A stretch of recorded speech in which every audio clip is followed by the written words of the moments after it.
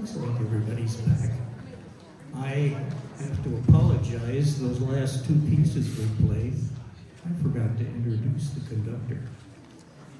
Diana Hedinger, where are you? Thank you.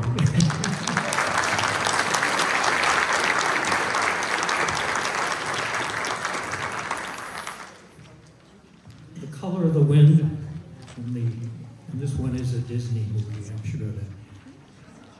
Pocahontas. This song won an Academy Award for Best Original Song in 1995.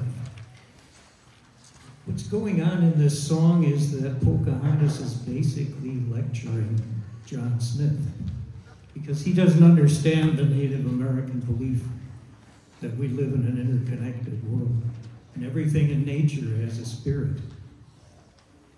That you can't, as the first line of the song says, own whatever land you land on.